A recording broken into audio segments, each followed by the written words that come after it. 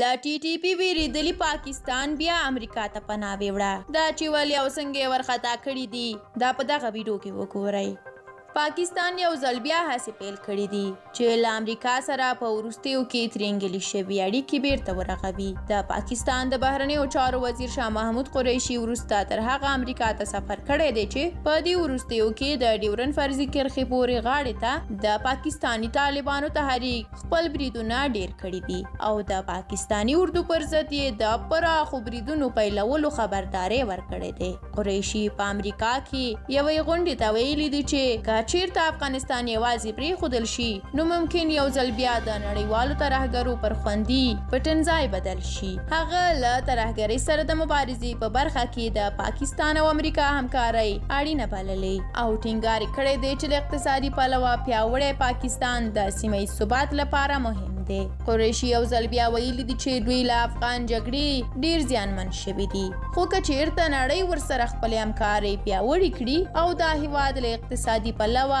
په خپلو پښو ودروي نو په سیمه کې به له ترهګرۍ سره د مبارزې پر یو پیاوړي سنګر بدل شي نوموړي دغه راز د افغانستان په اړه ویلي دي هر څومره چې اسلامي امارت خپل دریځ نرموي په هماغه اندازه ځان ته کار اسانوي دا په داسې حال کې د کله چې اسلامي امارت پر کابل او ټول افغانستان ولکه ټینګ کړه د هغې ورځې نه وروسته د پاکستان په بیلابیلو ایالاتونو کې د ټي ټي پي او نورو هغو ډلو چې د حکومت ضد دي خپلو شومو بریدونو ته دوام ورکړ او په دا پیښو کې لا زیاتوالی راغلی وروسته بیا د دغه پیښو څخه پاکستان خپلو ټولو پوځیانو ته د تیارسۍ امر وکړ چې ګنې دوی د مقابل لوري په وړاندې خپلو عملیاتو او هیڅ چا ته د شومو کړنو اجازه ورنه کړي. همدارنګه د پاکستان د پوځ ویاند بابر افتخار ویلي دي چې د خپل هیواد د امنیت او خوندیتوب لپاره د اسلامي امارت سره په اړیکه کې یو او غواړو له اسلامي امارت څخه دا ډاډ ترلاسه کړو چې ګواکې افغان خاوره د هیڅ چا پر ضد ونه کارول شي.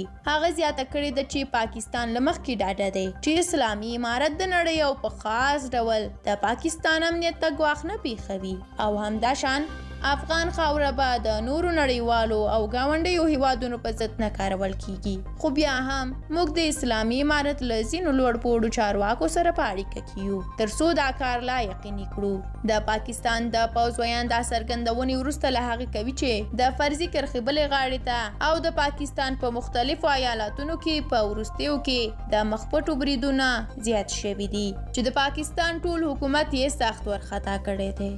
مننه چې دغه ویډیو مو تر پایه ولیده اوس نو تاسو خپل نظر را سره په دې اړه په کومنټ کې شریک کړئ. د لا ډېرو ویډوګانو لپاره سوله افغان یوټیوب چینل ضرور سبسکرایب کړئ او زنګوله هم روښانه کړئ تر څو زر خبر شئ. تر بیا الله مو مل شه د خدای په امان.